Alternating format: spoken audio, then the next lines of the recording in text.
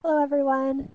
Uh, let's go ahead and get started, and I'm sure people will keep trickling into Adobe Connect while I go over some of our brief intro slides. Uh, welcome to our seventh webinar in the Arctos webinar series. My name is Emily Braker, and I'm the Vertebrate Collections Manager at the University of Colorado Museum of Natural History, and I'll be moderating this webinar. Today we'll be talking about managing cultural collections in Arctos and demonstrating several of the Arctos tools available. Presenting for us all the way from the University of Alaska Museum of the North are Angela Linn, who is the Senior Collections Manager for Ethnology and History, and Archaeology Collections Manager, Scott Shirar. Teresa Mayfield from the Museum of Southwestern Biology is also joining us in the chat, and she'll be keeping up with your questions during the presentation. Um, so before we begin with the webinar content, I have a couple of quick logistics to go to cover. The first slide provides let me get there, some basics to familiarize you with Adobe Connect if you've not attended any of our previous webinars. Uh, so if you'd like to list your institution next to your name, you can do so by clicking on the list icon at the top of the attendees pod to edit your info as shown here. Um, and we encourage you to do so. Feel free to use the chat box to, to type in any questions or comments during the presentation and jump into any chat discussion that gets going. Uh, we may circle back at the end of the presentation for any unanswered or lingering chat questions. Um, your microphones are currently turned off to ensure good sound quality during the webinar, but I will turn them on at the end during Q&A for those of you who would like to speak. And we also do suggest using headphones rather than computer speakers for clearer sound quality. Um, and finally, one thing we like to request of our participants is that you take the short post-webinar survey following the presentation you can see the URL here in the slide, um, and that's going to remain available up at the right-hand corner of your screen throughout the webinar. Uh, the survey only takes two to three minutes and provides iDigBio with valuable demographic information and us with important webinar feedback and gives you the chance to suggest future topics. So please take the survey even if you've done so with our previous webinars. Next slide, here are some general Arctos links. We record all of our webinars, including this one, so you can find recordings at the URL listed if you'd like to listen to or share this webinar or view previous topics. You can find out more about Arctos in our user handbook, including how-tos and documentation to supplement this webinar. And finally, you can search our data at arctos.database.museum. Uh, these links will also be available in the upper right-hand corner of your screen. Um, and lastly, I want to mention our next webinar topic on tissues, containers, and object tracking in Arctos, which will be on the second Tuesday in April at 3 p.m. You can copy the link here, find out more, to find out more, and we hope you'll join us again. So at this point, I'm going to stop sharing my screen and turn this over to Angie and Scott. Thanks, guys.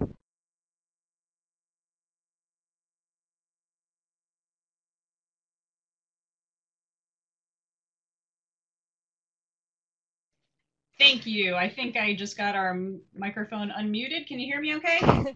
yeah, loud and clear. Thanks. Okay, perfect. Thank you. All right. Well, thanks everybody for logging in today to uh, learn about how Arctos is being used here at the University of Alaska Museum of the North for managing cultural collections.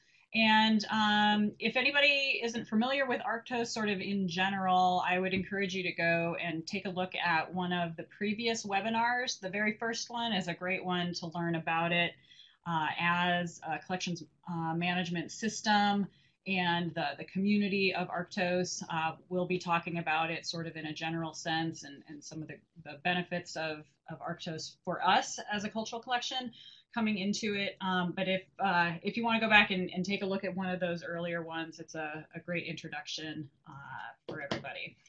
So that being said, um, I wanted to just give a real quick introduction for people who may or may not be familiar uh, with sort of the history of, of our collections.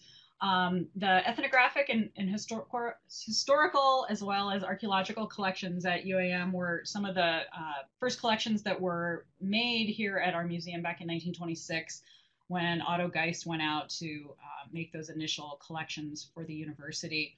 Through the years, uh, our collections were physically separated from one another. So um, our numbering systems and our agents, who are the people and organizations Um, and then the objects themselves, we, we've got a lot of overlap between um, our two collections. So it makes a lot of sense for us to work together on a lot of projects.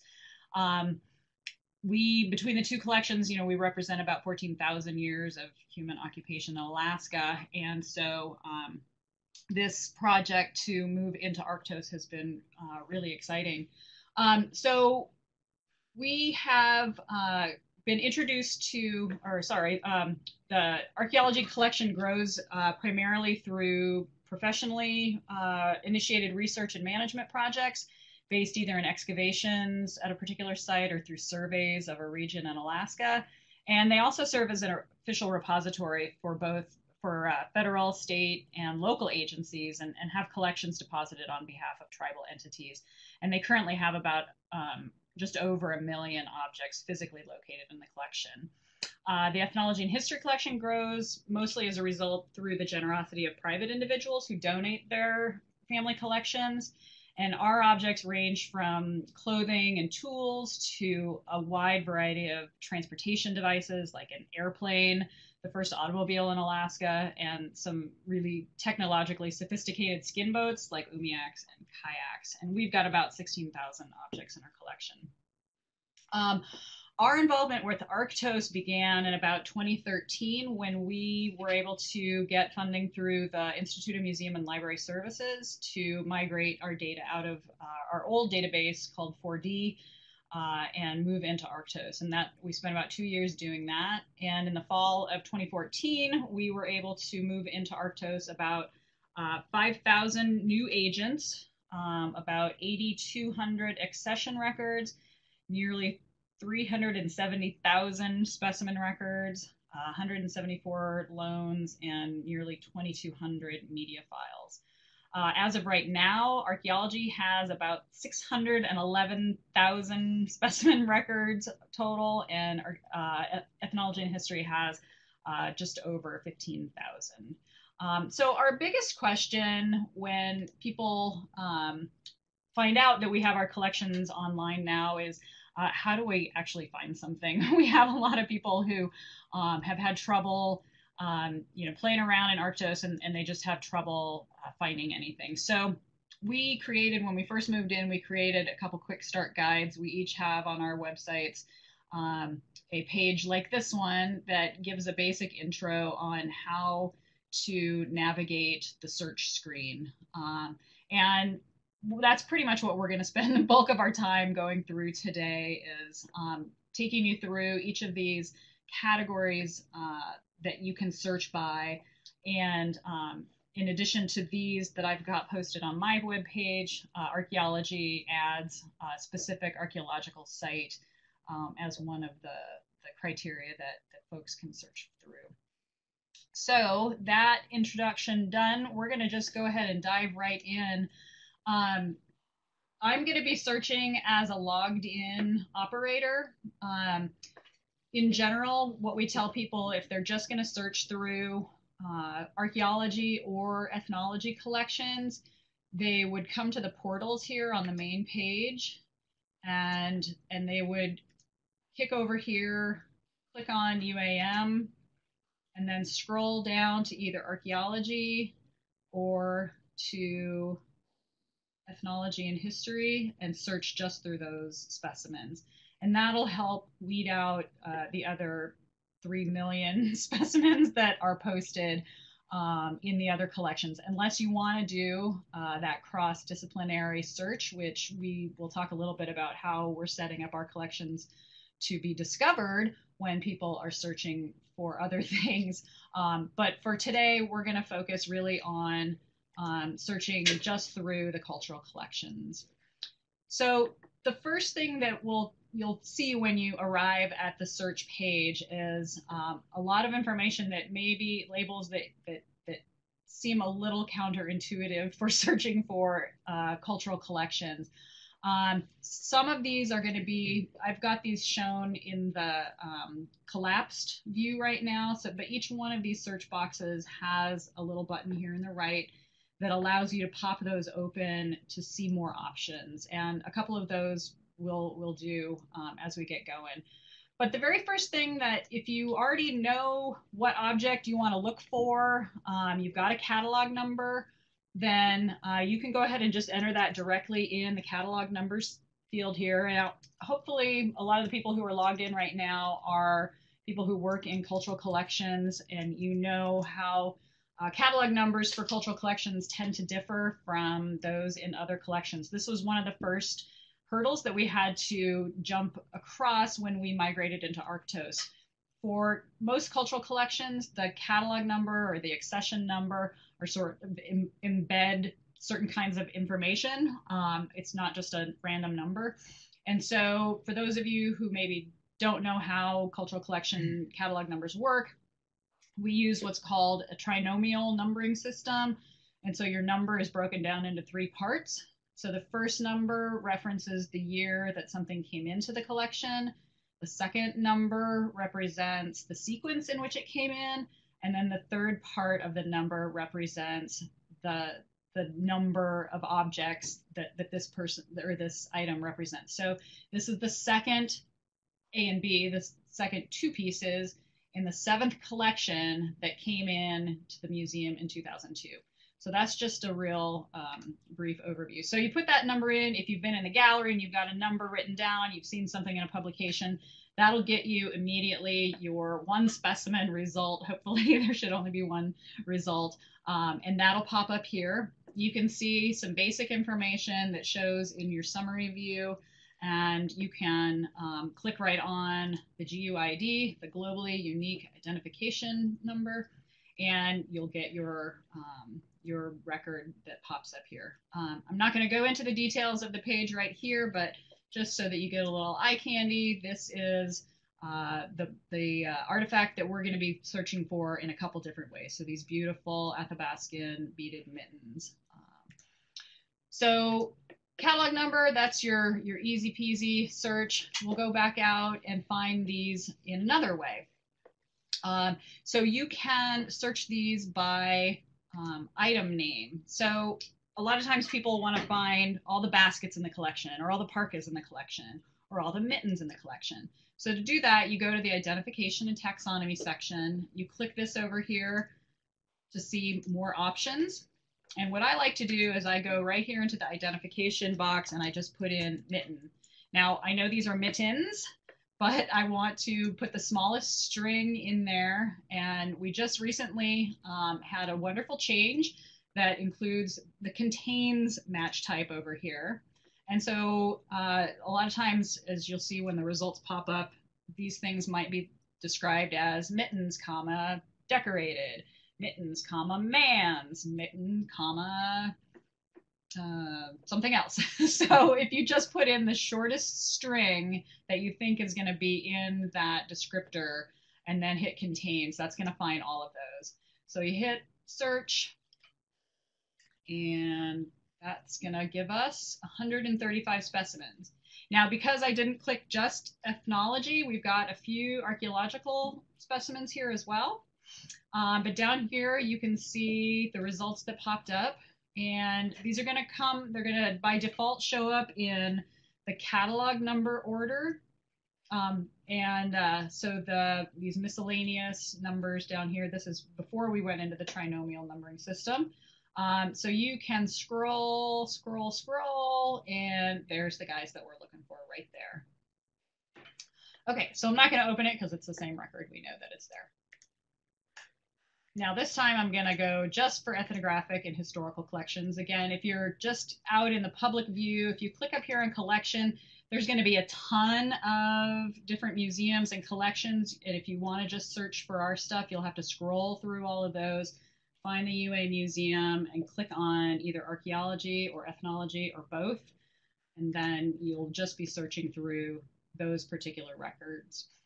So the next way that we're going to look uh, is by the people. So this was another one of the big changes when we moved into Arctos is, is um, you know, people for natural history collections are important primarily as collectors.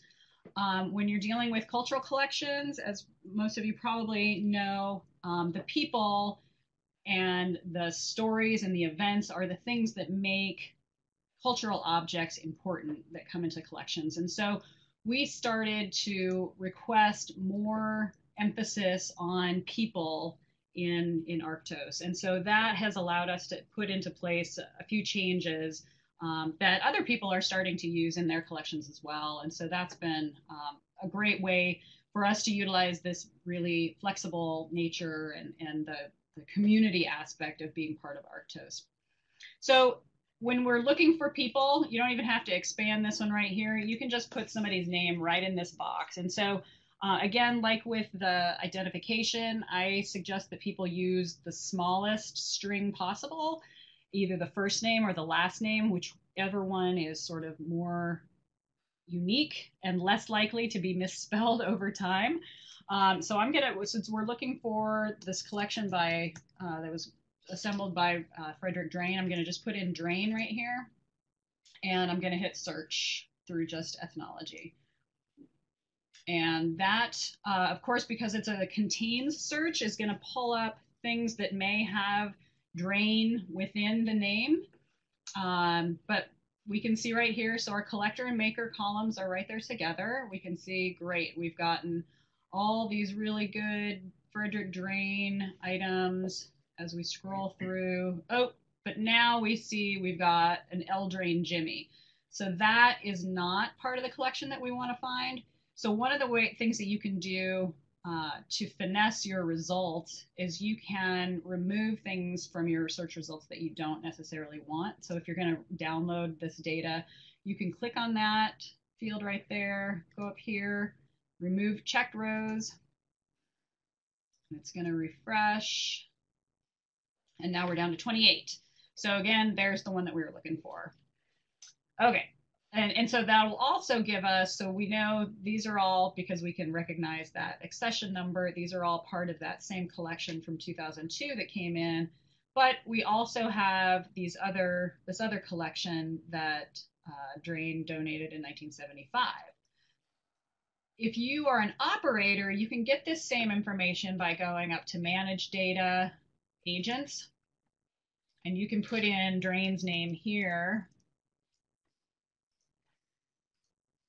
and you can see, oh, there's Eldrain Jimmy, but then here's Frederick Drain right there, and maybe some other people that are relevant. And so that pops up. You can see the summary. We've been using the agent remarks to put biographical information on that helps you distinguish between two or three different people who maybe have the exact same name. You can also include relationships in the agent. So you can see that he's the parent of Rebecca Drain Warren and he's also the spouse of Rebecca Wood Drain. Um, in that area, then you could go to the agent activity report and get a list of all the items that he uh, is associated with from this place. And then you click on there, and that gets you back to those 27 specimens. So a couple different ways that you can get back to that same, that same result. Okay, one more way that you can search um, and that people often search for cultural collections are by culture. So culture in Arctos for the cultural collections is listed as an attribute, and the attributes are individual are, are specialized data that associate with that actual individual object record. So you go down mm-hmm. here to specimen record and you click on more options. And you can see right here, there's a drop down list that gives you lots of attributes. Every collection can pick their own attributes. And so um, there's a lot to sort of filter through. But uh, for us, you can go to culture of origin, and that's a good one that we like to use. And if you don't know, um, all of our, our uh, pick lists or drop down menus in Arctos are, are uh, controlled by uh, code tables. So you can click on the vo controlled vocabulary link there, and that'll give you a link over here to the code table for culture. And so you can see how we have developed uh, a code table that represents cultures from primarily Alaska in the north, but also in different areas. Because we're the first uh, cultural collections in Arctos, it's pretty heavily weighted to Alaska, Canada, the circumpolar north but there are uh, folks in other places around the world as well. So if you don't know what information to put into your culture of origin list, that's where you can go to make sure you get good results. So you would just put in, so this one we know we're looking for Athabascan. And so you just put that in, and this is going to give us all the objects in the ethnology and history collection that have been uh, identified as Athabascan. Um, and that's going to give us, it takes us a little bit longer to find that one, but that gives us almost a thousand specimens right there that, that get kicked out. Um, again, you can sort by whatever column you want up here. And because um, we've got almost a thousand, I'm going to go ahead and sort it by the collector since we know we're looking for a particular person. And um, we're going to scroll down and it it sorts it by the first name. So we're looking for Reverend. so we're going to have to go down to our bottom and you can show however many you want in your search results. I've got 100 shown here, but you could could show. Hmm? Oh, so you go up a little bit for some reason. Some oh yeah, it'll. Oh. So because of the way that um, uh, if it, if we were sorting by catalog number, the 2000s will show up before um, the uh, like 69s. um, but so we've got, we're only on the D's here, so we're probably going to need to go to like the third page or so. We'll see where we can go. There's F's and H's. We'll go someplace here in the middle. Or maybe it's up those are all of our unknowns. Lots of unknowns. Sorry, I should have figured out which page it was going to be in. There's the U's. So here we go, R's, and up here, there's our purple one that we've already looked at before. So there it is. So you can get, you can cast a really wide net, or you can cast a really small net when you're looking at things like that um, with the attributes. One last attribute that um, might be of use for researchers um, who are particularly interested in decorative elements, sometimes people will look um, for certain keywords within the description. And this is another way that cultural collections are a little different from uh, natural history specimens is that we, we've been trained to fully describe uh, the item as if that thing is not um, imaged right there. We're lucky we, we Arctos can accommodate a lot of images in each record. And so um, you don't have to be as diligent about describing uh, every little bit nook and cranny of an item anymore. But we still do for the most part because researchers may want to narrow things down. So for example, this particular one, maybe somebody's interested in how tulips have been represented as a decorative element in beadwork. So we can put tulip in there and see what shows up in the ethnographic collections as well. And that'll take a couple seconds because it's going through a bit, an attribute that has a lot of information in it. Um, sometimes these descriptions can be quite extensive. And there we go. And so there you can see when we went go into the record itself and we come over here to the description we can expand this so you can see this is a pretty decent sized one, um, but it sorted through all of this and found tulip right in there because, of course, on our item, we've got tulips shown on the thumb and up here on the cuff. Um, so maybe somebody's really interested in the use of blue beads or moose hide or uh, you know some other material um, in that description. So I'm going to kick back over to our search page here and hand it over to Scott to talk a little bit more about some other ways that um, these uh, different criteria can be used to find archaeological specimens. Cool. Thanks, Angie. Um, so, sorry, I got to get used to using a Mac here. PC user myself.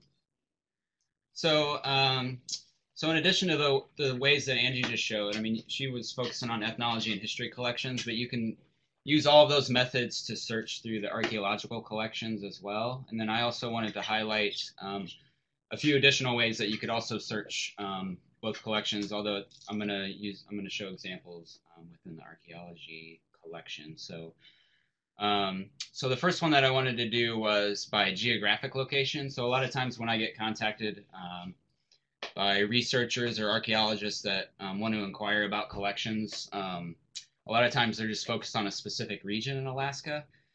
Um, and so in order to do that, we would search through um, this locality page. And so I'm going to actually show more options.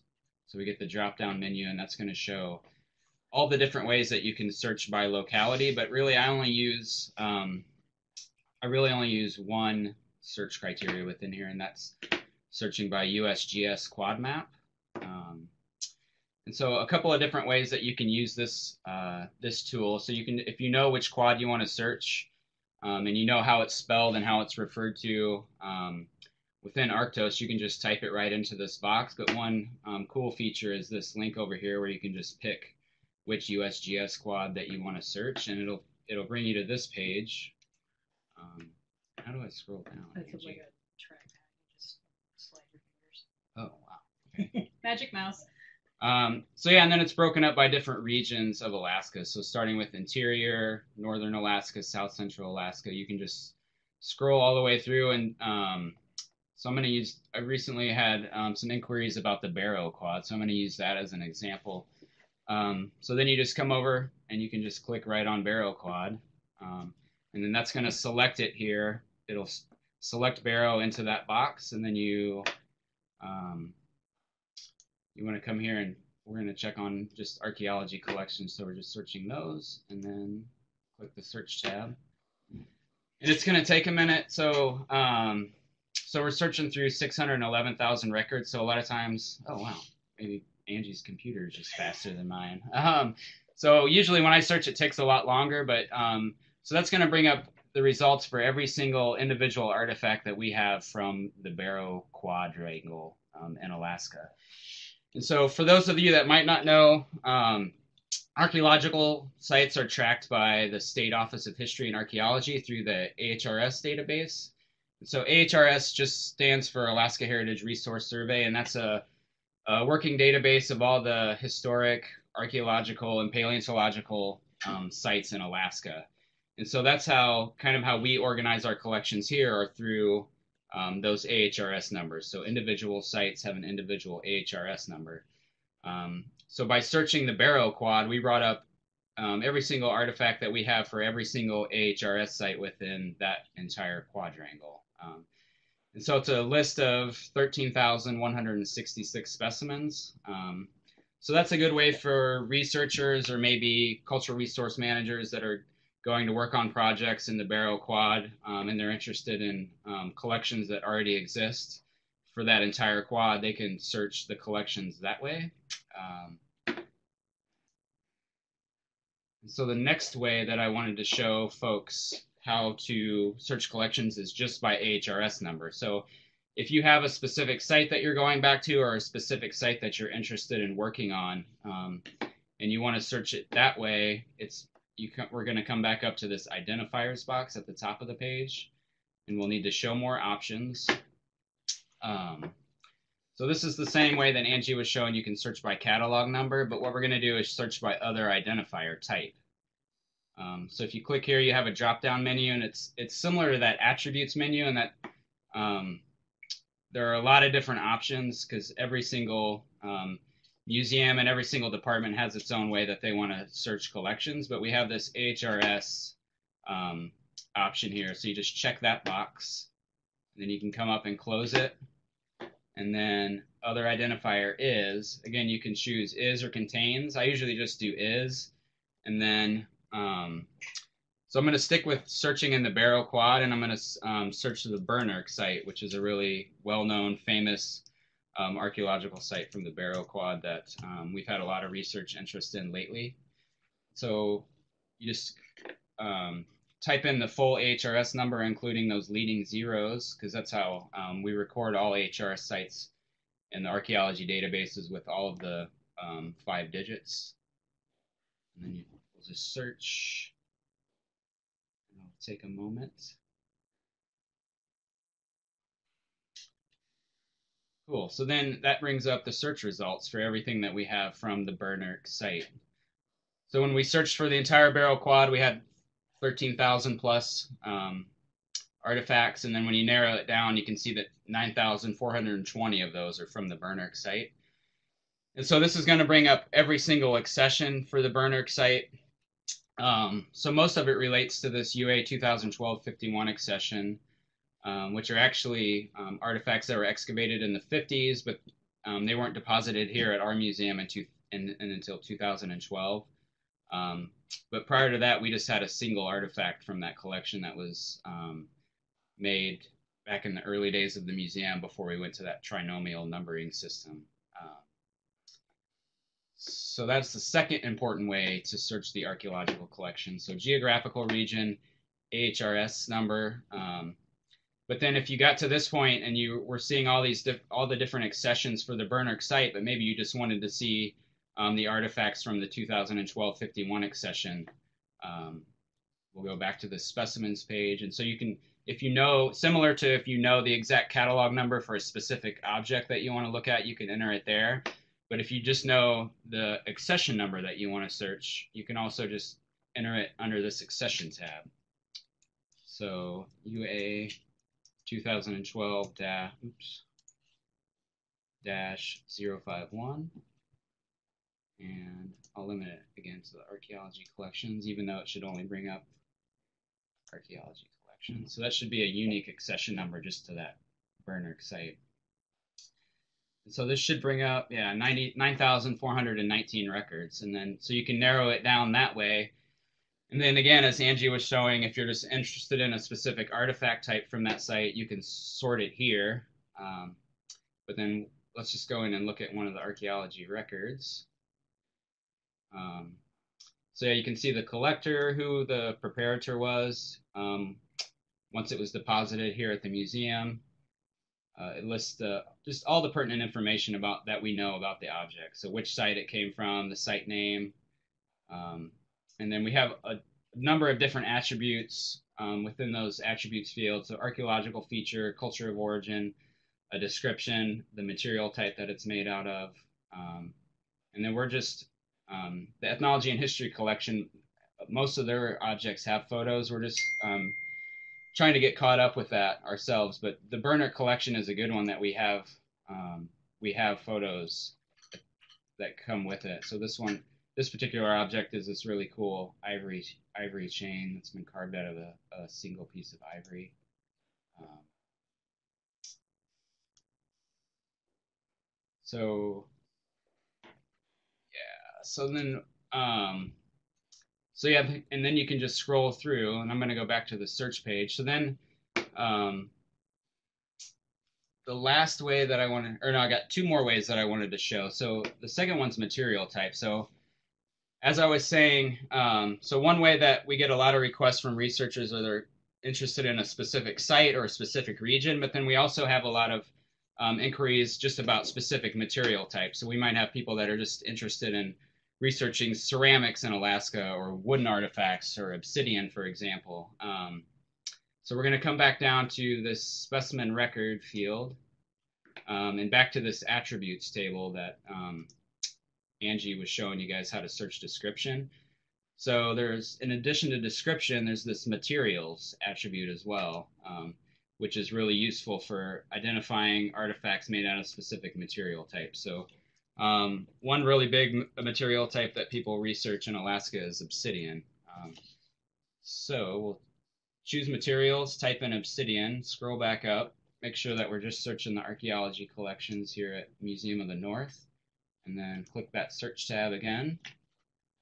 And so this should bring up every single artifact that we have um, information entered into the database for um, that's that's made out of obsidian. So um, so one sort of um, sticking point there is that we estimate we have over a million artifacts, but um, we just have 611 some thousand actually entered into the database. So there are a lot of artifacts that we have in the collection here that when you're searching the database in this manner that um, you're not necessarily going to be able to find just because they're not in the database yet.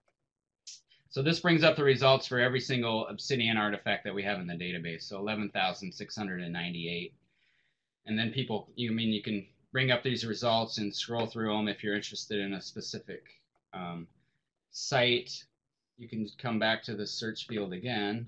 Um, and we'll have to start over, but you could enter, you could go back down to this materials page, pick the attribute or the specimen record page, pick the materials and the attribute, type in obsidian. But if you want to know every obsidian that we have from the Barrow Quad, then you can start to get a little more complicated and start mixing and matching different attributes. So you could come in and pick, um, again, pick the Barrow Quad, and then come down to pick an attribute, go back down to materials and pick obsidian.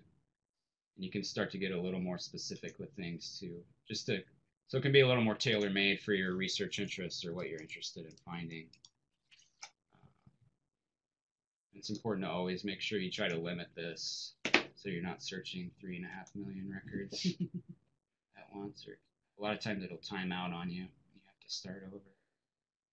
Um, that's surprising. I thought some of those Birnirk items would have been obsidian. Uh, but that's good to know. We don't have any obsidian from the Barrow Quad. Um, so you can start and mix and match that way. Yeah. Um, and then the last way that I wanted to mention, or just to highlight ways that we can search the collections, and this is something that we're just beginning to scratch the surface on, is through, we're going to come back to this identification and taxonomy box um, and show more options. So, so this is where Angie was showing you how to search based on the artifact name. So this is where we were searching for mittens. Um, you can do the same for archaeology collections. If you're interested in projectile points or microblades or microblade cores, you can search there. Um, but what I specifically wanted to highlight was how we're starting to link up um, scientific name with some of our collections. So if if we have like a an antler projectile point that's made out of caribou, um, we could type in Rangifer tarandus, which is the scientific name for caribou, and, and tie it to that antler projectile point because um, a lot of times we'll get researchers that want to come in and they're interested in um, just the, the sort of past environmental um, conditions. So they're interested in knowing sort of the how the caribou were distributed 2,000 years ago. Um, so they might it's good for them to know that we have collections um, that are made of caribou, so they could come in and sample that and radiocarbon date it or do DNA analysis um, to get a better idea of like caribou distribution um, throughout the prehistoric past um, in Alaska. Um, so just as an example, we have very few that we actually have, we just have started trying to make these connections. Um, and one of the big ones we've um, done so far is for collections down on um, the Alaska Peninsula that were recently deposited. So I'm going to do a search for seal. And so that brings up all the different seal specimens that we have in the collection um, so far. And, and, they're all pretty much from the same quad, this the False Pass quad, which is down on the Alaska Peninsula. Um, and like I said, we're just getting started with this, but as we start to add more and more, um, if you go into search seal, eventually it's going to bring up thousands and thousands of records. Um, and then again, you can start to um, limit or get more focused if you're interested in seal from a certain um, a certain site or a certain time period or a certain geographical region in Alaska, you'll be able to um, go in and just target those collections that you want to try to access a little bit, um, a little bit more specifically. Um, so again, here I'm just in inside the artifact record for um, this one spiel set spiel specimen from XFP 31. Uh, but you can see it's a thoracic vertebrae. Um, and then you can see where it was collected from test pit 3 at this site, 60 to 90 centimeters below surface. Um, yeah, so those are just a, a, few different ways of how we kind of search. It's more tailor-made for archaeological collections maybe as opposed to, but there's a lot of overlap with ethnology and history as well. Um, just in terms of people being interested in specific material types or geographic locations or specific collections or sites. Um, yeah, so that's that's what I had for archaeology, and then from here, Um, we thought if we have time, we're we have time. Oh, okay. So we've got a few minutes left. I don't know if we want to go in and look at some specific records to show, or Yeah. to. What I thought I would do next is to take a look at um, a couple of what we sort of qualify as kind of gold standard records, where we've been able to go beyond just the basic information in our record and start taking advantage of the, the vast resources that we have, either in our collection files or in resources that exist out um, in the web, you know, out in other people's databases and, and that kind of thing. So one of the records that I wanted to highlight from from our collection is a camera that was collected by or used by Frederick Schwatka. Um, he was a, uh military guy who was part of the search, um, the, the reconnaissance mission that the military did in um, the mid 19th century. And we've got this very cool camera that was donated um, back in 1968. You can see here's its full catalog number, the name, where it was made, the date range. All of this information is up here in the header. And then um, for each one of our records for the ethnographic and historical collections, we have three locations and dates that we record with every single item. This was another one of those um, elements that made um, folks who used Arctos um, kind of head explode when we started moving our data in or talking about the data that we wanted to bring in.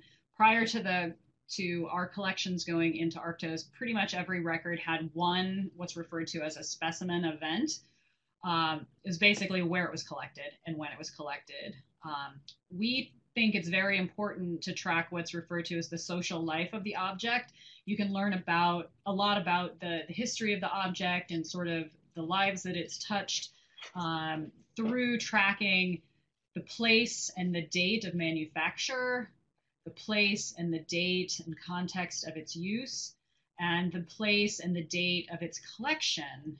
Um, and so we create an individual specimen event that each of those may be the same or they may all be completely different. And so this is one that shows really nicely um, some differences in all of those fields. So this camera was made uh, sometime around 1884. This was something that we were able to take the patent number for this particular camera. This is the advantage of these man-made items that have things like patent dates. Um, look it up. Um, and then we knew the year that Schwatka reputedly used the camera. So we've got a nice tight date of its date of manufacture, sometime between 1884, when the patent was filed, and 1886, when Schwatka apparently used it. Again, its date of use is listed here, 1886, and the, the events are great that you can actually qualify this information in the event remarks and say why you've selected a particular range for your event dates. And then the date of collection um, is, is uh, within that same date range, and we've qualified that. Uh, so that's the, all the, the location information. We can also map those things through coordinates, and that would give us, if we had done that, we would have a little map, a little Google widget map that would pop up right there and give us a really nice pinpoint on the map where that's at. Uh, our collectors, so we can have us, as many collectors or makers as we want to have associated with this. I should actually have one more collector listed on this one who would be the donor um, because he inherited it from his aunt who was, uh, I think, a niece of Schwatka. Um, this part information, this has to do with the condition of the item, um, or uh, in this particular case, it's the media. So these are, we have five photographs um, that document this piece. And then this is our basic condition report. It's in the collection. And then this information is masked from the public view. This is its physical location. We've started to barcode our collections as a result of a grant through the Museums Alaska. And so as we uh, barcode our items, that information gets put into uh, this column right here, the PL path, and that will give us a much more accurate um, and real-time update of its location where we, we house it. Um, the attributes are over here. So we've got, oops, I don't want to edit. I just want to expand so we can see that this is a non-native item and there's a good description with some dates and um, measurements. And then the, the cool thing that we've started to do then with our collections is, is track uh, what we refer to as the intangible cultural heritage. A lot of that, the stories or the relationships between people, the knowledge that people have on how to make things. Um, you can capture that to a certain extent um, through just writing things out. You can also attach them as media, either as audio files or video files or text files.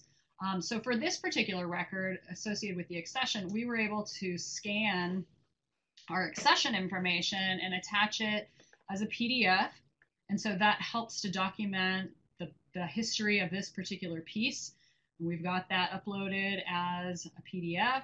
We've redacted some personal information in there, which is his address. It's got its letter of authentication um, from someone, and it was notarized back in 1954. So that's a cool way that we're able to get some of that paper file stuff in our lab associated with this collection. Um, We've got photos, the different angles, great close-up shots of uh, things that help identify the item like that. And then some of that other media that would be really interesting for people to see the newspaper article that documented the camera coming to the museum when it was initially donated. So that's a cool record that I just wanted to share. Um, another one that mirrors what Scott was showing about adding the different um, materials in a record is this parka that uh, was donated back in 91. It is um, a really beautiful parka that um, is is associated with uh, Tishu Ulen from Wiseman. You can see this one has been uh, geolocated. We've got coordinates that were put in, and our map shows Wiseman right there. So you can click on that one, and this parka was made from, according to its description, caribou, wolf, wolverine, and and uh, calf skin. So what we have done is we've entered those really general scientific names into the identification up here. And so what this allows people to do then is if they're searching for the whole through the whole Arctos, you know, three and a half million specimen records, um, if somebody's looking for wolf, um, this is going to show up in their wolf search because we have gone ahead and we've entered Canis lupus in there as an identification of a material. Um, that's, as Scott mentioned, if people are interested in um, environmental studies or the distribution of certain animals across space and time, um, that will allow people to see this parka, which we know was made pre-industrial time period, probably. Um, and uh, you know that might be important to somebody who's doing research on caribou or on sorry on on uh, on wolf uh, populations in Alaska. Um, what's super cool about this one is we we have the parka photographed here. And when I was doing some research on Tishu Ulen, um, I was just doing a Google search and I came across this photograph that is over in Alaska's Digital Archive. So what Arctos allows us to do is to create media in Arctos that's actually that lives someplace else.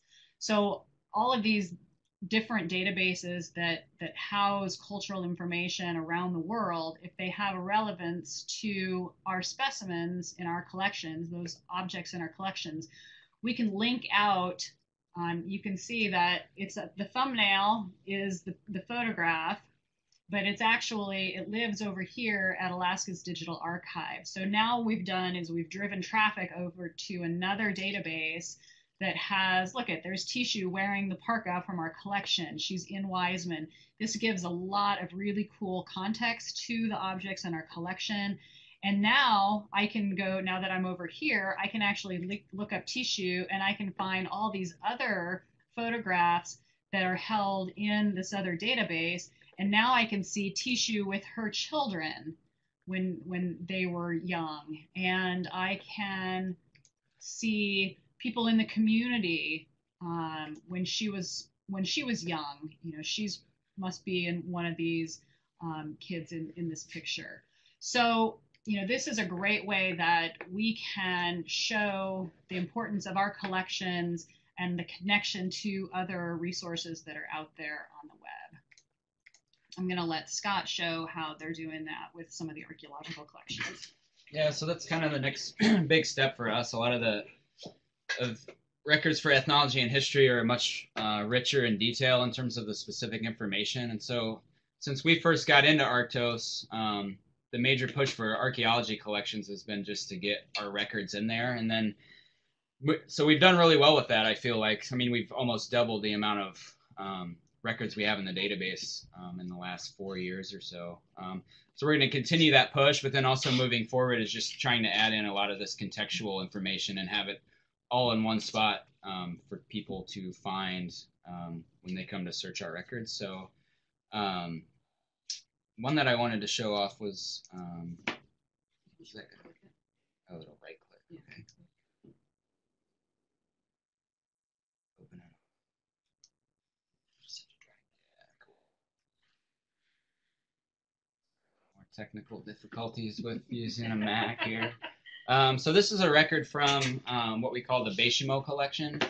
Um, so the Baychimo collection is really interesting, and it could probably actually be um, in the ethnology and history collection as well. But it's actually um, it's a collection of ethnological objects from uh, the Canadian Arctic, taken off of a ship named the Baychimo. And the Baychimo was uh, it was an ab- abandoned Hudson's Bay Company cargo steamer, um, the SS Baychimo, and it was sort of legendary as an abandoned sort of quote unquote ghost ship that sort of floated around the Bering Sea ice pack for 30 years. And at some point while it was in a, it was abandoned, people boarded the ship and collected objects that were left behind on it when the ship was originally abandoned. Um, and then a small selection of those um, of those artifacts were donated to Otto Geist, who then um, donated them to the museum in sort of a roundabout way. But this is um, I was going to highlight this one ulu from this collection because um, this is just um, so we don't have as much of the contextual background information for each individual object, but this is as of right now, this is a good example of a pretty complete um, artifact record for the archaeological collection. So it has collectors, preparators, um, where it came from. You can link into that um, accession record to get a little bit more um, context about it but where it's located out in the in, out in our um, artifact storage, what it's made out of. Um, but then, so most of the records that we have in Arctos have that basic information. Um, but as we move forward, um, and we're trying to seek out future grants for this, but is to add in photos, but then also scanning all of the hard copy accession records and get those added as text. But um, here, for an example, we have a link to uh, a research article that was published um, that references um, the Baychimo and will tell you everything you want to know about the history of that collection and the history of the ship. Um, uh, more details and photographs about all the other artifacts. So then we have artifact records for each one of these in Arctos as well. So as we're moving forward um, and getting beyond just getting the basic information about objects in, now we want to start to go back and add in a lot more of this contextual information. Um, so, like I said, accession, everything we have in the accession records, but then adding even um, right now we the photos that we do have are just kind of like basic one-shot photos, but maybe trying to get photos of both sides, and then um, moving forward too, it seems like a trend now. We're getting a lot of researchers coming in and doing 3D scans. So as we move forward um, we're going to try to figure out how we can start to add those 3D scanned files where people could actually um, get get small views of those 3D scans, but then also, um, if they wanted to, they could request larger files where they could download and then actually print, do some 3D printing um, for artifacts. Where if you have somebody that's located halfway around the world and they want to um, research um, projectile stone projectile points from the late Pleistocene, they could request those 3D records and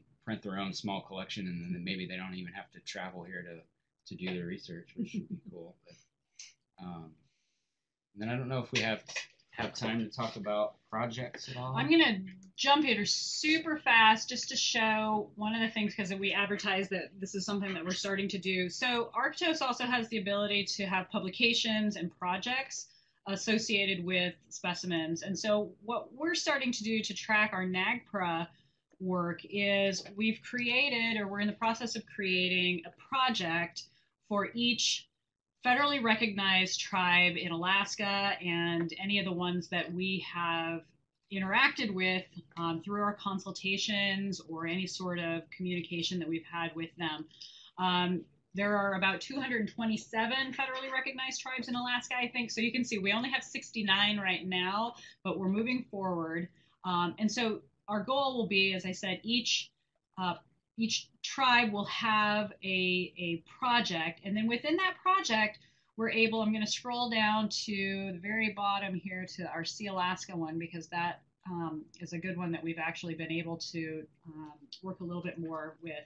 So if you click on the project, that opens up the page. And what we've done is we're these are really designed for research projects, but uh, again, we're adapting it to our own use.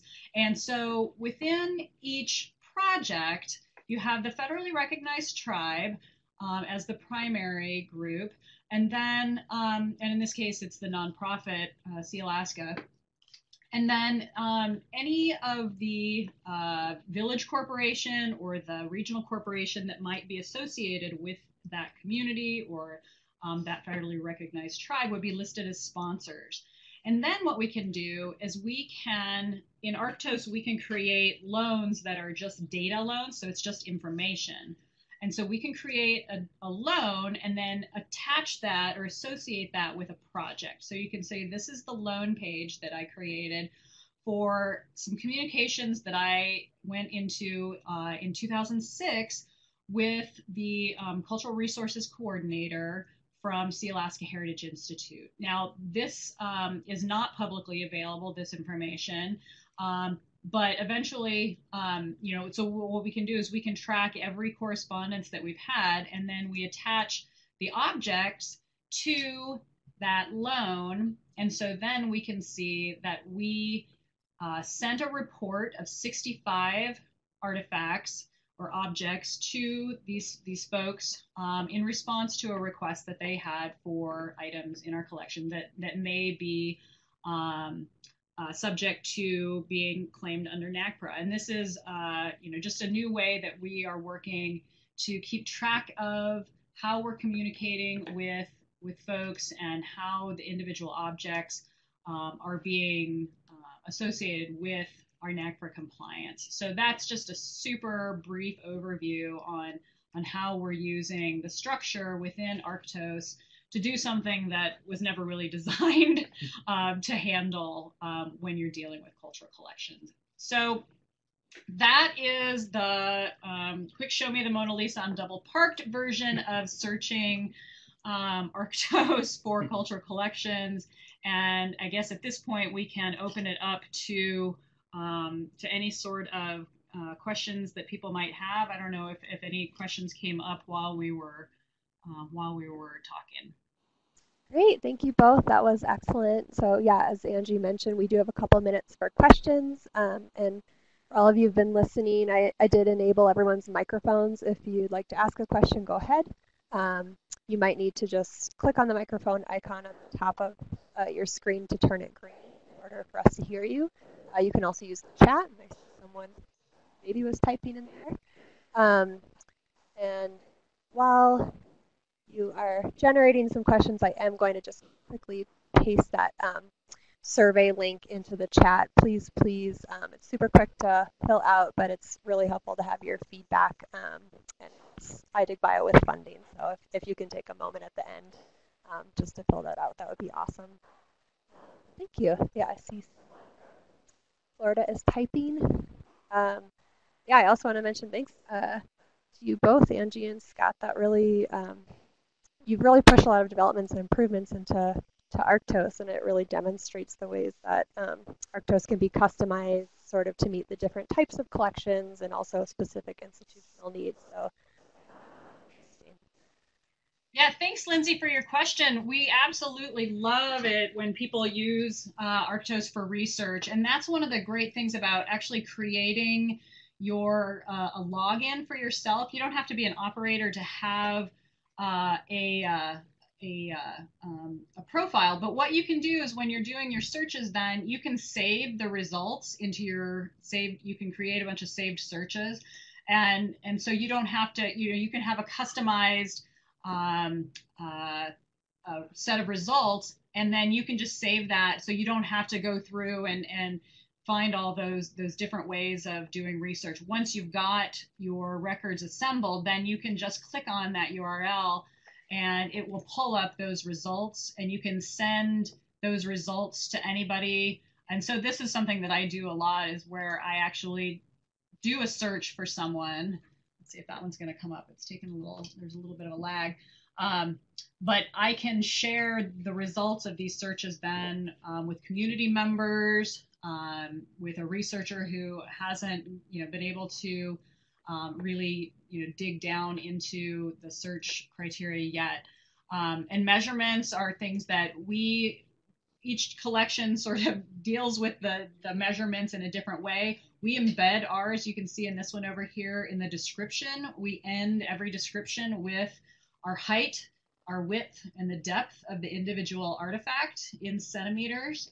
Um, does archaeology have a separate field for that? Uh, a lot of times it falls into that description field, yeah. Um, but it would be that's a good idea to maybe have it as separate attributes. Yeah, and I think my that that's experience in one of the things- archaeology is a lot of folks like to come and take their own measurements Mhm. as opposed to trust what might may or may not be in the database too. So right. kind of depends how much faith you might have in that in the data that you're just downloading from the database. hmm Exactly.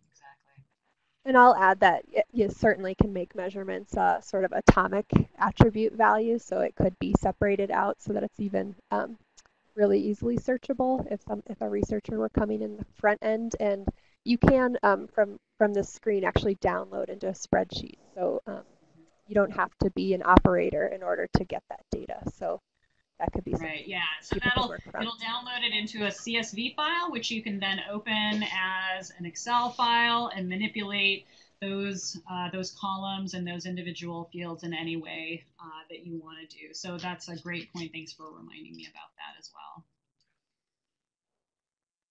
Great. Other questions? Um, yeah, if any of you have any questions, go ahead and type. I, I do want to mention too, I- I believe you might have said this too, Angie. Um, our first webinar, if you ever want to look through the recordings, you know, this covered so much. Um, that one also touches on, on some of um, the other tools, permits, accessions, loans, project pages that um, we got to at the very end that if you wanted to explore those more, um, you know, you can kind of go back through the archives and watch those as well. So yeah, that was great.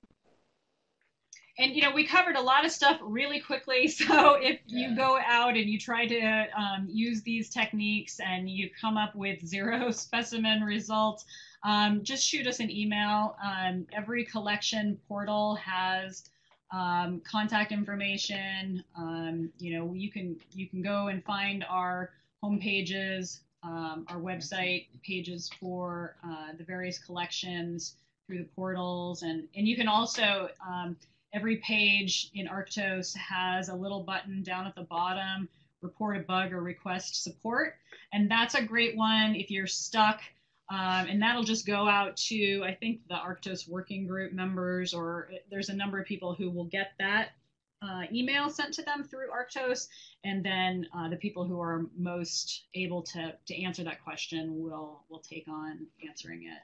Um, but, you know, as you begin to use it, or if you as users have questions or come up with things that you think would be valuable for us to be tracking or uh, keeping um, data on, um, you know, this is again the great thing about Arctos is that we have the ability to make changes um, and, and push how we're keeping track of information. And, and um, we have certainly pushed Arctos uh, into some new new areas as we've moved into there, and and hopefully that means it's it's better for everybody. So definitely.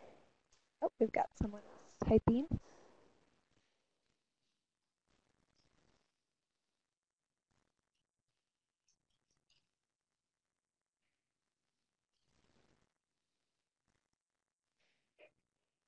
And, and definitely, you know, if you have questions about um, different elements um, within, um, you know, our collections, uh, you know, there are all those other webinars.